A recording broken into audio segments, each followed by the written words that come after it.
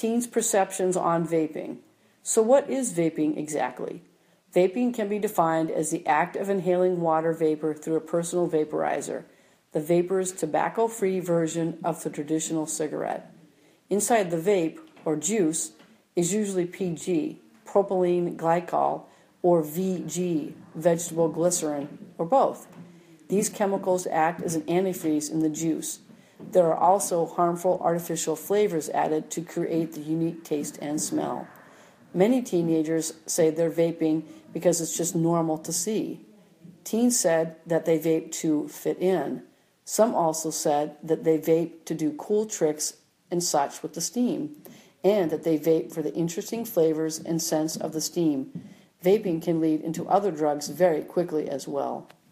Teens believe that vaping helps one quit smoking. They think that vape pens have less tar in them, less chemicals, that it smells better, and is healthier for one to breathe in. They also believe that it does not deteriorate one's lungs. What they don't know is that vaping actually has more chemicals inside its juice than any cigarette has, and over time fills one's lungs with water. Teenagers say they get vapors from parents, friends, or buy them themselves. Teenagers say they vape anywhere, around friends, in public.